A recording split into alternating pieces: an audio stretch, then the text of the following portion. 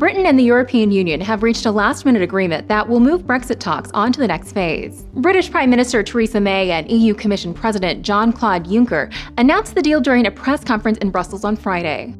Getting to this point has required give and take on both sides. And I believe that the joint report uh, being published is in the best interests of the whole of the UK.